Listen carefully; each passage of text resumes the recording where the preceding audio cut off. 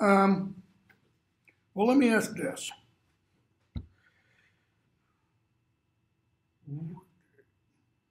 How would you like to, to do today?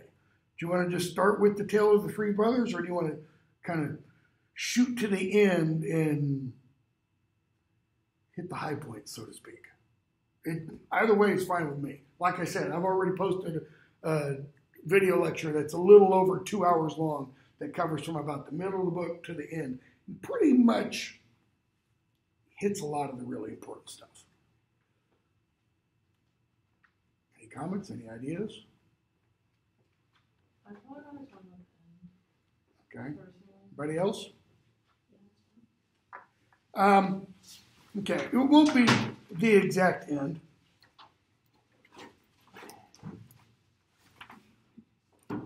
Go to um, the chapter Malfoy Manor. You know, Harry, Ron, and Hermione, they get captured when they leave um, Xenophilius Lovegoods. They go back off to the forest. They get captured. Just before they do, Hermione puts that spell on on Harry, and so he's unrecognizable. And at Malfoy Manor, we see Lucius, especially, try to? Force Draco to identify the person with the hex as Harry, and Draco doesn't. He says, I don't know. He gets really close to Harry. Says, I don't know, and then walks away. And I think it's an interesting question because it's never definitively answered. Does Draco really recognize Harry and not give him up? Or does he really not know? Because as I said, it's it's not definitively, definitively stated. We see a little bit after that. Dobby rescue them, but before that, Peter Pettigrew has that moment, like second, of the word that's used in the book is pity. It's not mercy. Of pity for Harry, and the silver hand that Voldemort gave him, you know, turns and kills him. Okay? and then when they leave, we see our, what do you want to call this? Third great death. You know, not great in one sense, but, you know, the first one is Hedwig, second one is Mad Eye, and then we have Dobby. And notice how Dobby dies. We get this depiction of Dobby with his hands reaching out to Harry, we're told, in an attitude of supplication. Okay? Supplication is just a Latin word for prayer. And very briefly, chapter 24, the wand maker. Harry says, I'm going to bury Dobby, but not by magic. He says, I want to do it properly. Why is burying Dobby not by magic, doing it properly? What does Harry mean by that? Why does it need to be manually? I mean, Dobby is Dobby is entirely a creature of the magical world. Harry is not. Harry didn't know anything about magic first 11 years of his life. Dobby's been magical from the moment he was born. So why wouldn't it be appropriate to just wave a wand and have him buried? There's not a clear answer to that. Okay? But I think one of the reasons is because of what Harry experiences while burying Dobby, while digging the grave.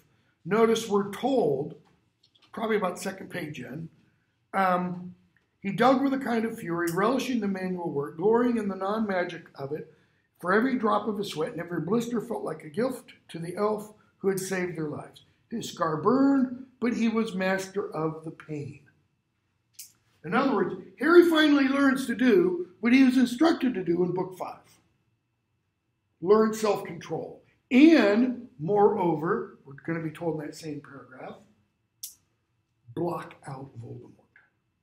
Now he can turn that on and off. He can allow Voldemort in, or he can see what Voldemort's thinking, or he can turn it off. Okay? What else happens? While he's doing the digging, all these disparate pieces in his mind, all of these disparate ideas start to kind of, like a giant jigsaw puzzle, fall into place.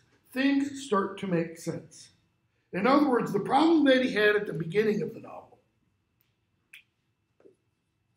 to choose what to believe is no longer a problem. He chooses to believe Dumbledore. Why? Because he starts to see the little connections. What before had been disparate points, he now sees these are connected. And he thinks, if Dumbledore knew, for example, about Peter Pettigrew, what else did he know? If he knew about, you know, my need to be a seeker, not a knower, what else did he know? All right? So, a few more pages in, after he actually buries Dobby, Harry tells Bill, I need to talk to Griphook and Ollivander. Why does he need to talk to Ollivander? What's he need to find out from him?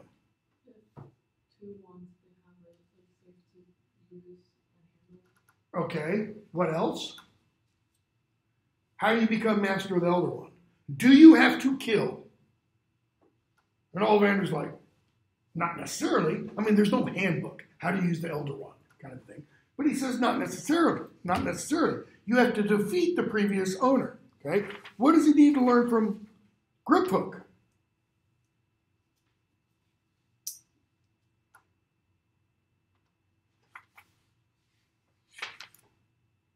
What is in Gringotts? So, okay, Gryffindor sword. Thought the real sword, or is it the one they got out of the pond? No, the real sword was gotten out of the pond. It's the locket. The Lestranges have a vault, and there's a locket. Uh, not a locket. Not the locket. Um, The cup. Thank you, the cup. Okay? So,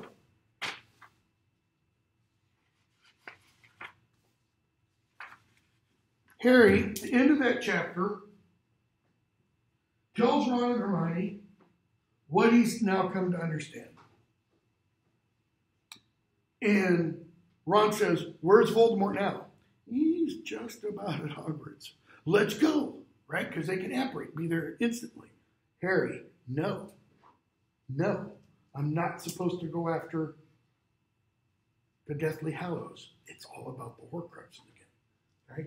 And what does he do? He physically does something that indicates his submission to the plan. He falls down on his knees, okay, indicating humility. He's not, what does he really want to do? He wants to go get the wand. And we're told, the end of that chapter, no, take that back. Beginning of chapter 25, Shell Cottage, second paragraph. He could not remember ever before choosing not to act, right? We could go back to book one. All, you know, not quite his first day at Hogwarts, but really soon thereafter, when he first learns how to fly, what do we see Harry do? He goes after Malfoy to get Neville's Remembrall. Why? Because he can. He chooses to act. Forbidden Forest, he stops Malfoy from going forward. And all throughout the remaining books, he's always acting. That's why Hermione tells him book five, Harry, you got the savior complex. Okay? And now, he's choosing instead to remain passive. He's not going to act. He's going to let Voldemort get it. Does Harry know? I mean, conclusively, 100% know right now that it doesn't matter if Voldemort gets the wand? Mm, not quite sure about that. I think he's pretty sure. Okay? So, skip a bunch. They go to Green Gringotts. They get the cup. They, we have the you know universal ride with the uh, dragon and everything, and they arrive back to Hogsmeade. Okay, they show up at um, the Hog's Head. Who's the owner slash bartender?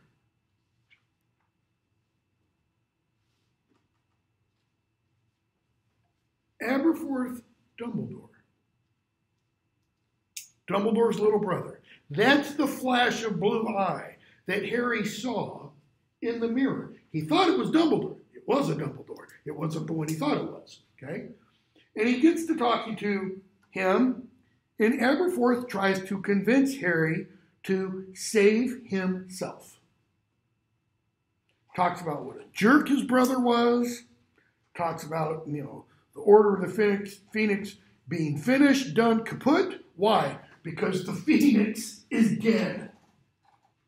Dumbledore, you know. Harry argues, I can't, I've got to go on, I've got a job to finish, etc., etc. This is somewhere around 562, 563. Harry kept quiet. He did not want to express the doubts and uncertainties about Dumbledore that had riddled him for months now. He had made his choice while he dug Dobby's grave. He had decided to continue along the winding, dangerous path indicated for him by Dumbledore to accept. He had not been told everything but he, that he wanted to know, but simply to trust. He's chosen what to believe. He's chosen to believe Dumbledore. Notice, is it a 1 plus 1 equals 2 kind of thing? Not. He doesn't know how it ends. Okay? So, who else starts to show up? Well, a couple more pages on. 567, 568. Before we do, who else shows up? Aberforth again says, in response to Hermione's, Dumbledore loved Harry. Why didn't he tell him to hide it? Aberforth says. Why didn't he say to him, Take care of yourself. Here's how to survive? I mean, it's a pretty good question. You would think if a loved one is in danger, you would tell that person how to protect him or herself. Harry says, because sometimes you've got to think about more than your own safety. Sometimes you've got to think about the greater good. This is war. What does Harry mean? You've got to think about the greater good. Louder? It's bigger than just Harry and his life. We hear all that we, we hear this all the time around us. That is, we hear it in political talk. You've got to get involved in something more than just yourself. Part of a cause, part of a movement kind of thing. You've got to think about more than just what's good for you. Okay? This is Harry saying that. But what does he mean, though? When he finishes it with, This is war. You don't go to war for yourself. You go to war for what? For those that are behind. You know, World War II, all those men who joined up and were drafted went off for what purpose? To protect what was left behind. I mean, think of what Aragorn says at the Council of Elrond about the Riders of the North and how they protect the Shire. They keep the Shire and everything safe. Okay? What Harry's implying is when you think about others, what might happen to yourself? Well, Mad shows us that. Dobby shows us that. Let's jump to the end. Fred shows us that. Lupin shows us that. Tonks shows us that. No? The first order of the Phoenix, half of them died. Okay?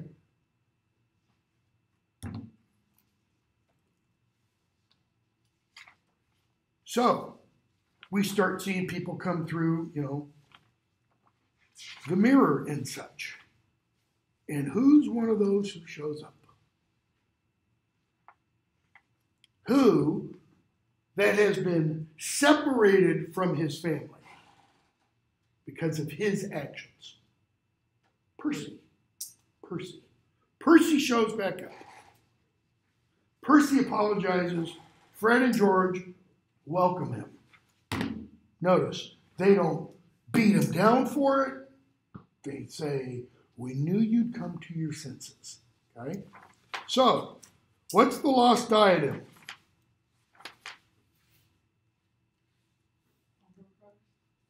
It's a Horcrux.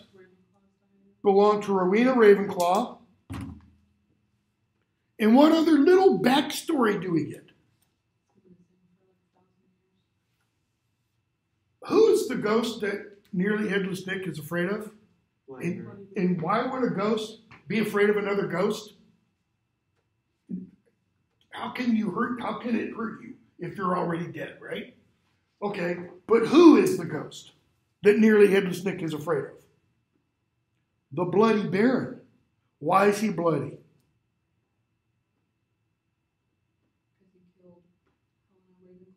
Yeah.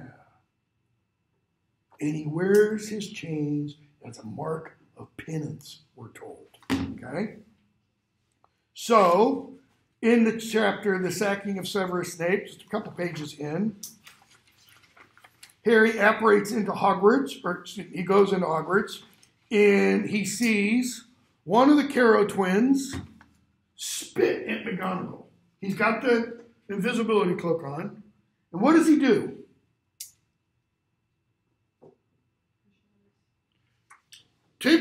Off, and he uses the Cruciatus curse on the Carrow twin. McGonagall's like, Harry, that's a stupid thing to do. And he's like, but he spat at you. What's Harry showing? Now, McGonagall uses the term, how very gallant of you, gallant of you. What's that mean? Chivalry. She couldn't defend herself right then and there at that point. But Harry sure as hell could. And she's like, wow. Right? She knows it's dangerous for Harry to be there. We see the sacking of Severus Snape. Okay? We get the Battle of Hogwarts. Uh, where we hear about Helena Ravenclaw and such.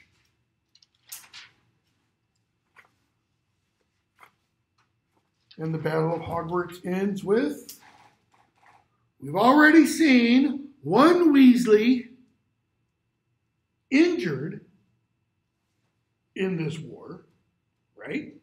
St. George. George has had his ear blasted off. And we hear someone shouting, No, no, no, Fred, no. Percy was shaking his brother. Ron was kneeling beside them. And Fred's eyes stared without seeing, the ghost of his last laugh still etched upon his face. And then notice the very next sentence, next chapter. The world had ended. So why had the battle not ceased? The castle fallen silent in horror, and every combatant laid down their arms. What's, what's that mean, the world had ended? I mean, obviously it's not literal. For Harry, a world without Fred Weasley, it's like anti reality. It cannot be conceived of. But then another body falls. In other words, Harry's jarred back into reality. Okay? So, go on a little bit more in that chapter. And Harry follows Snape around 655. He follows Snape to where Voldemort is. And we see the nice little interview between Voldemort and Snape. Okay? And what does Voldemort say just before he sicks the snake Nagini onto Snape. I regret it. around two pages later. Yeah, about 657 or so. Does he? Is Voldemort capable of regret? Because what does regret imply? If you regret doing something, what is that saying about your emotional state? You're sorry for it, right? If you're sorry for it, that implies what? Oops, I made a mistake. Not true. so, Voldemort leaves.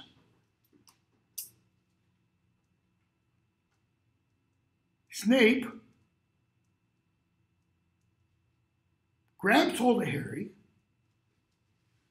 holds him by the robes, says, Take it, take it. Okay? And this stuff comes from his mouth and ears and eyes. Harry knew what it was, but didn't know what to do. Hermione conjures a flask, and Harry puts it in. And what are Snape's last words? Look at me. Why? And go one more step. How does he want to die? Looking into Lily's eyes. We don't know that at this point, though. We don't know that until we read all of the Prince's Tale. Okay? So, Voldemort offers Harry an option.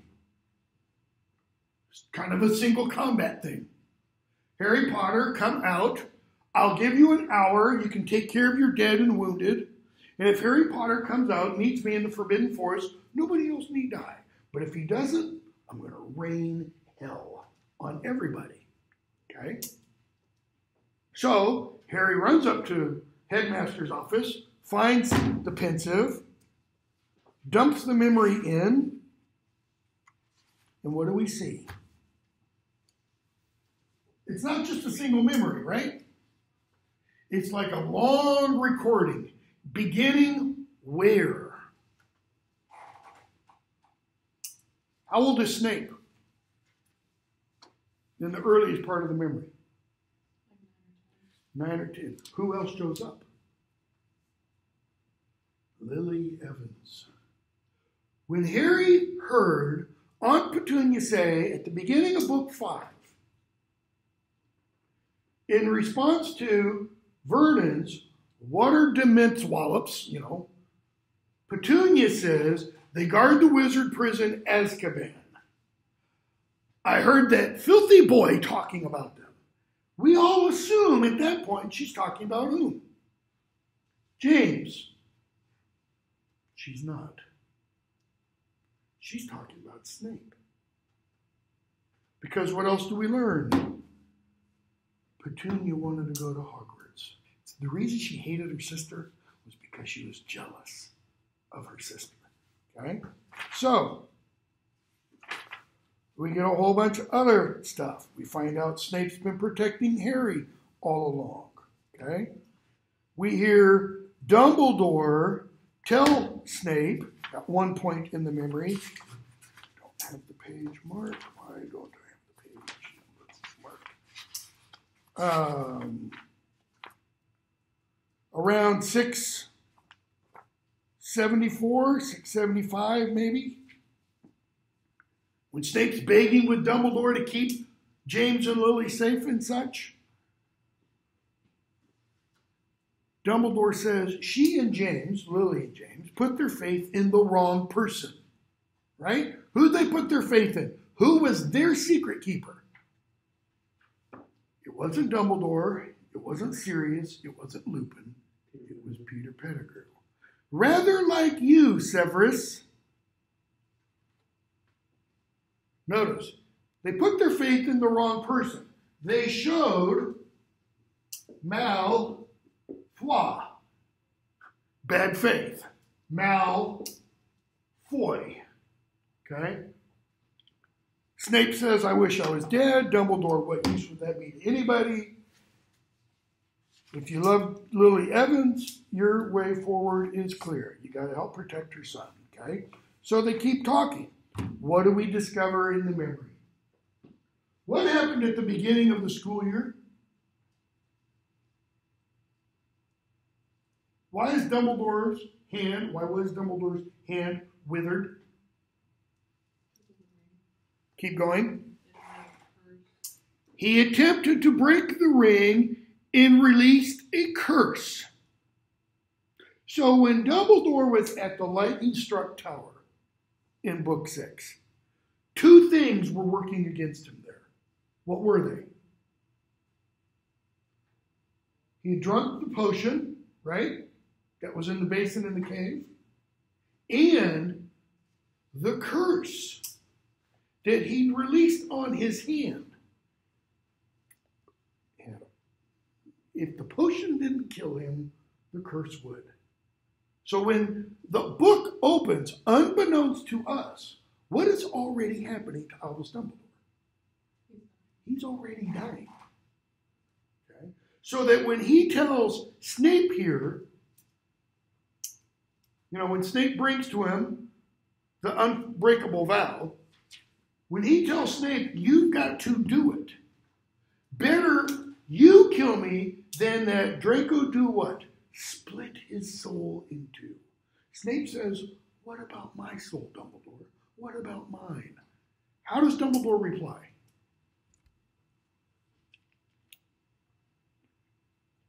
He says, Only you know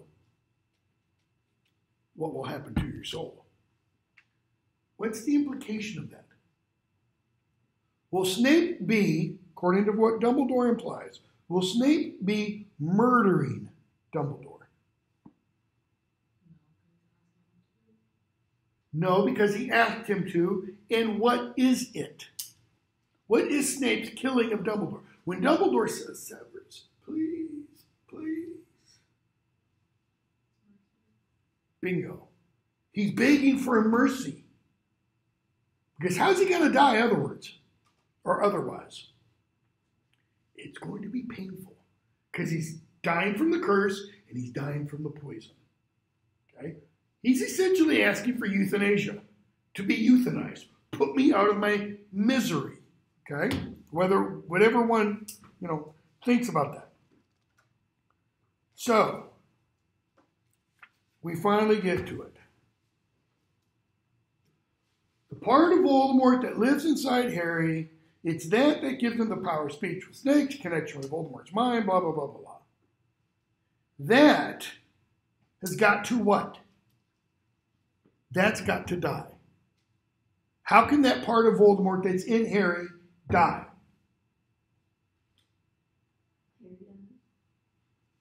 Okay. And Harry has to die how? that's the important part. He's got to die by Voldemort. Snape. So the boy must die, and Voldemort must do it. And what does Snape finally say? You've been fattening him like a pig all this time. Remember what Harry thought at the beginning of this novel? I don't want to be a tool. It's exactly what he is. Okay? We see Snape do expecto patronum in the memory, and what comes out? The silver doe. Forest again. Harry goes into the forest. He starts to go into the forest. We're told Harry understood at last that he was not supposed to survive. His job was to walk calmly to death's welcoming arms. Along the way, he was to dispose of Voldemort's remaining links to life. So that when at last he flung himself across Voldemort's path, did not raise a wand to defend himself, the end would be clean, and the job that ought to have been done in Godric's Hollow would be finished. Neither would live, neither could survive. Okay? That's what Harry thinks should have happened in Godric's Hollow. Okay?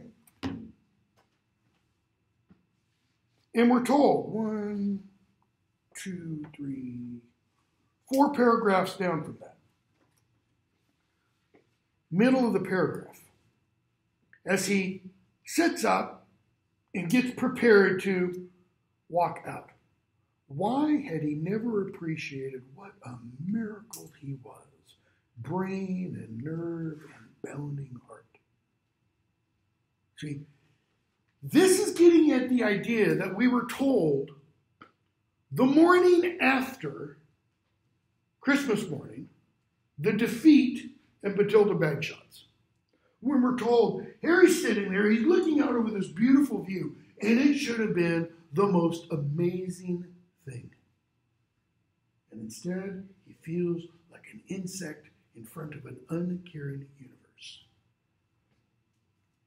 Dumbledore's betrayal was almost nothing. Of course, there was a bigger plan, blah, blah, blah. Okay? So, he starts to make his way down. He sees Neville. He says, Hey, Neville, if you ever see Voldemort's snake, kill it. Because he knows that's one. Okay, that's a Horcrux. He overhears Ginny because he's got the invisibility cloak on. She can't see him. Notice he doesn't stop, give her a peck on the cheek or anything, just walks right by. He's going to make his way to the forest, and we're told around, I don't know, 695 or so, he and Voldemort and Snape, the abandoned boys, had all found home here. Notice Harry links himself with these other two. Why? Had Harry known love growing up? No, really. Did Snape? Apparently not. And Voldemort sure as hell didn't. Okay? He identifies with them because we're told it's only at Hogwarts that he found home. He keeps going on. There's Dementors. And he's like, man, I, I, I can't face the Dementors. Why? We're told he had no strength left for Patronus. Is that true or false? And I'm, I'm not trying to say that, you know, our narrator is unreliable or anything like that. What does he lack, really, to be able to create a Patronus? What must you think of? Your happy thought. This is why I think that's, you know, the, the biggest flaw almost in her writing. You know, it's a Disney-esque, you know, pixie dust and dust and, you know, stuff. What's his happy thought? How's he going to come up with a happy thought? Uh, you know, I'll see Ginny again? No, he's walking to his death. Every second he breathed, the smell of the grass, the cool on his face, was so precious. To think that people had years and years, time to waste, so much time it dragged, and he was clinging to each second. You could almost say that is the point entirely of all the books. How so? Harry has to learn, we're going to find out in the next, yeah, next chapter. Harry has to learn to master death. What does that mean? To be prepared for it. How do you be prepared for it? Not by worrying about it, not by running away from it, not by fearing it, but by living each moment like what? Like it's your last. Bingo. Like it is your very last. I mean, none of us know when our last breath is. We think we do. We kind, or we might kind of think, you know, I'm young, your ages. I've got 40, 60, whatever years left. My age, I've got 20, maybe 30 at most, maybe 10, you know, years left. None of us knows. We all know, well, maybe you don't. I've known people who have literally dropped dead mm, with no indication that they were ill. My father-in-law, you know, the, literally got a call one day out of nowhere. Mike's dead. Just had a massive stroke, standing at his kitchen counter, dead before he hit the ground. 68 years old. No indication of heart disease, anything. Okay? Other people, you know, little kids, it, no time is guaranteed. All right? So, He's walking towards it. He puts his hand in his robe. He pulls out the snitch. I open it to close. Harry's thinking, well, this is the close. This is the ending. The door's. And he puts his lips to it and says, I'm about to die. And it magically opens. It hadn't opened before. And there's the resurrection stone with a crack representing the wand. And all of a sudden, who's beside him? James, Lily, Sirius, Lupin. Had he seen Lupin die? Nope. He asks, Does it hurt? Sirius, dying? Not at all. Quicker and easier than falling asleep. Lupin, and he'll want it to be quick. He wants it over. Harry, I didn't want you to die. He's talking to Lupin there. Why did he tell Lupin, imply, that Lupin shall go back to Tonks? Because he wanted him to live. And instead, Lupin dies, and Tonks dies, and the epilogue, the final word, takes us what? Takes us full circle from the very beginning of the first novel. Because what do we end with? We end with an orphaned baby whose parents died defying Lord Voldemort. We end with little Teddy Lupin, who's kind of like the new Harry Potter, so to speak. So, he goes on. Voldemort zaps him, and we see King's Cross. He lay face down, listening to the silence. He was perfectly alone. Nobody was watching. Nobody was there. A long time later, or maybe no time at all, it came to him he must exist. Must be more than be disembodied thought because he was lying. Definitely lying on some surface. That is, he had sensory perception. And almost soon as they reached this conclusion, he became aware he was naked. Notice what happens. Notice the progression of ideas. He first has consciousness. Then he realizes he's physically prone. He's lying flat. And because he realizes he's physically prone, he realizes, I've got a body. Next thing he realizes, my body's naked. I don't have any clothes on. Okay? But it doesn't bother him. You know, it's just kind of intriguing. Why am I naked? He wondered whether, as he could feel, he would be able to see, because all of this is happening with his eyes closed. He opens his eyes.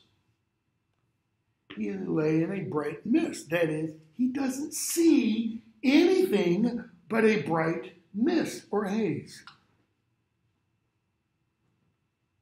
His surroundings, notice, were not hidden by cloudy vapor. Rather, the cloudy vapor had not yet formed into surroundings. Even what he's lying on doesn't look like a floor. Okay? It was simply there, a flat blank, something on which to be. He sat up. His body appeared unscathed. Now, notice, he should have what on the back of his right hand? I must not tell lies. He should also have on his forearm scars from when he dug his fingernails in earlier in the book. He is not wearing glasses. But he can see. See, before, when he loses his glasses, everything's a blur. Now he's not wearing glasses and he can see perfectly. What are we being told? What is this, or where is this, or in what state is Harry? First of all, he is dead. He is dead. It's not mostly dead, it's not nearly dead, he's dead. Even though Dumbledore's going to say something that's going to apply maybe a little bit different. He hears a noise, a pitiful noise, slightly indecent. Indecent means it doesn't fit in this surrounding. There's a problem with it. Okay? And suddenly, because he hears this noise, he wishes he were clothed. Why? Because if somebody else is around here, I don't want him seeing me naked. And boom, robes appear a short distance away. He puts them on. So notice now there's not only perception of the place he's in, but there's a perception of distance. It's three dimensional. Okay? Was he in some great room of requirement? Maybe it was a palace. He hears the noise again. He thinks this is kind of like the Great Hall. The only he was the only person there except for he recoils. He sees the thing that's making the noise. It had the form of a small naked child curled on the ground, its skin raw and rough, flayed looking. You know what flayed is? It had the skin pulled off. It was a torture that was used in the ancient world. Okay? And it lay shuddering under a seat where it had been left unwanted, stuffed out of sight, struggling for breath. What is that? That's the piece of Voldemort. What piece of Voldemort? That's the piece of Voldemort's soul that was in Harry. Notice, though, it's struggling. It's still alive in the sense that Harry is still alive. In the sense, because Harry's dead, and this thing is dead. But notice, Harry's afraid of it. He did not want to approach it, but he goes closer to it. Soon he stood near enough to touch it, but could not bring himself to do it. He felt like a coward. He ought to comfort it, but it repulsed him. Why does he think he should comfort it? Patronus Potter. Harry always wants to help, and he's told, You cannot help. Why can't he help it? Because it's dead. It looks alive, it's dead. He spins around, and there's Dumbledore. Harry, you're dead. Mm, yes, and I'm dead too. Mm, that's the question, isn't it? On the whole, dear boy, I think not. Why not? According to Dumbledore's reasoning, why isn't Harry dead? Do we get explicitly told?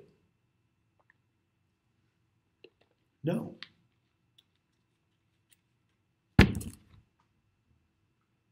There's still a bit of Harry, however, where? In Voldemort. When Voldemort used Harry's blood to bring himself back to physical bodily strength, he created essentially a Horcrux. Not a real one, but a metaphorical one. It's that that is keeping Harry alive. It's that part of Harry that's still alive. Okay? The rest of Harry is dead. And notice, Harry raises his hand, and the scar isn't there. Why?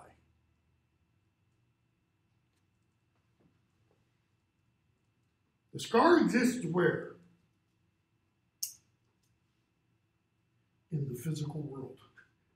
Harry isn't in the physical world. This is after death. This is in the spiritual world. Where is he in that spiritual world? This is the place nearly headless Nick arrived at. But what did nearly headless Nick not do? He didn't go on. Instead, he went back. He chose his pale imitation of life, which is why he can do this and pull his head most of the way off. Okay? So, Harry says, explain. Dumbledore, you already know. Harry, I let him kill me, didn't I? You did. So the part of his soul that was in me, it's gone? Oh, yes. Yes. He destroyed it. Your soul is whole and completely your own, Harry. It's whole. It that's why there's no scar. That's why he can see perfectly. This is Harry kind of redeemed, if you want. This is Harry perfected. Okay? But then, what's that? Something that is beyond either of our help. Uh, but if Voldemort killed me, how can I be alive? Come on, come on, Harry, think. He took my blood. Ah, precisely. He took your blood, rebuilt his living body. I live while he lives. Harry, but I, I thought it was the other way around. Okay. By the way, how many Horcruxes did Voldemort make? Dumbledore thought there were six when he talks with Harry. There were actually seven Horcruxes, which means how many pieces of Voldemort's soul are there? There are eight. If seven is the perfect number, the one in his body, okay, and then the other six, that makes seven, then eight is pretty much the opposite. Any number other than seven is the opposite. If seven is perfection and completeness, any other number is imperfection, incompleteness. Okay? So, Dumbledore says you were the seventh Horcrux, Harry, the Horcrux he never meant to make, etc., etc. They keep talking. They talk about the Deathly Hallows. Dumbledore says, page 719 or so, you know, after searching for the Deathly Hallows, he realized I had learned I was not to be trusted with power. How many times was he offered the position of Minister of Magic? He says in that conversation with Tom Riddle, three times. That's three times up until that point. We don't know how many other times after that. Okay? Harry, you did much better than Fudge or Scrimgeour, would I? I'd proven as a very young man that power was my weakness and my temptation. It's a curious thing, Harry, but perhaps those who are best suited to power are those who have never sought it. Who's the new minister of magic? Kingsley Shacklebolt. Did he seek the job? No. This is, I, you know, I, I can't help but think of this and think politics. Somebody who spends all their life wanting to run for president, that's a pretty good indication you shouldn't kind of choose that person. Okay? So, he goes on, tells Harry he's the true master of death because he doesn't seek to run away from death. Okay. Harry, last page. If you planned your death with Snape, you meant him to end up with the Elder Wand, didn't you? Yep, that mm-hmm, that was it. Who got the Elder Wand? How? He did Expelliarmus at the top of the tower. But yet, where was the Elder Wand put? In the tomb with Dumbledore. So Draco didn't physically have possession of it. But we're told the wand knows who the owner is. Who has physical possession of the wand now?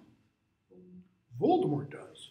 Voldemort thinks, ah, Snape is the one who killed Dumbledore. Snape, therefore, is the master of the wand. Harry, I've got to go back, haven't I? It's up to you. Wait, I've got a choice? Of course.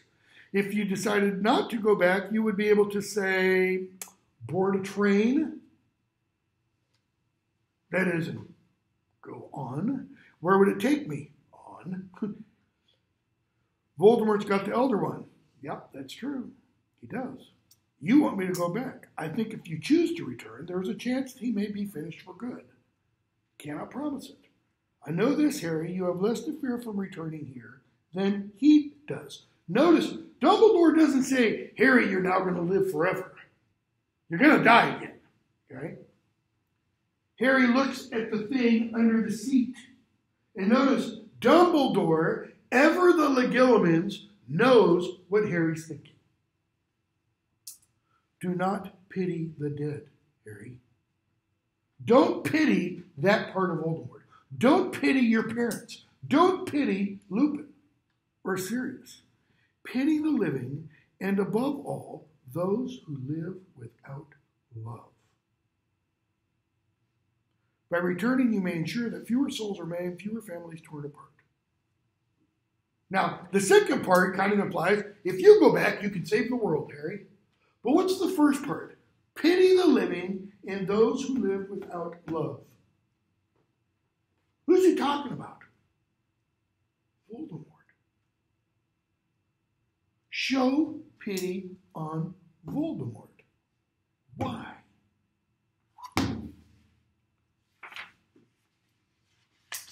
Harry goes back. He wakes up. Narcissa lies to Voldemort. Okay. And we get page 738. When Harry says, You won't be killing anybody else tonight. You don't get it, do you? I was ready to die to stop you hurting these people, but you did not. Harry, no, but I meant to, and that's what did it. Did what? How did Harry live when Voldemort first cursed him when he was one year old? His mother went in front of him and protected him. What has Harry done by going into the forest? He goes in front of Voldemort to protect everybody behind him. He does become the chosen one. Okay? He says, they're protected from you. See, all those who died up until that point, yeah, they really died. They're not coming back. But after that point, Harry says, you, you can't kill any of them. Okay? And so what does Harry offer him? A second chance. What does he tell Voldemort to do? He says, uh,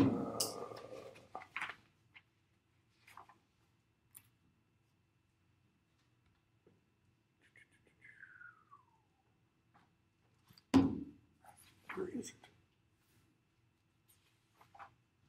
Harry says, try for a little remorse. I'm trying to find the spot. I've got so much underlined. Try for a little remorse. Be a man. Okay? And he's like, How dare you? Yep, I dare. And how's it finish? Avada Kedavra, and Harry uses uncommon skill and power. Expelliarmus. Okay. And Voldemort's spell rebounds on him. Last minute, and look what happens. Tom Riddle dies. So, paragraph, the page. Paragraph that begins, I don't know, four or five pages before the end of that chapter. 72, 71, somewhere around 469, 470, uh, 669, 670, something like that. The sun rose steadily over Hogwarts. The great hall blazed with light and life. Harry was an indispensable part of the group. They wanted him there with them, their leader and symbol, their savior, their guide. He had not slept. He craved the company of only a few of them. Okay? And what happens? The sun rises, and we get this description of the red and gold. Gryffindor colors, obviously, but also what? Phoenix colors. It's the rebirth. It's the new beginning. Okay. Um, all right, that's a minute over. If you want, by no means do you have to, but I did post that lecture that covers this material in a lot more detail. Um, that is on both in your email on the and on the announcements page.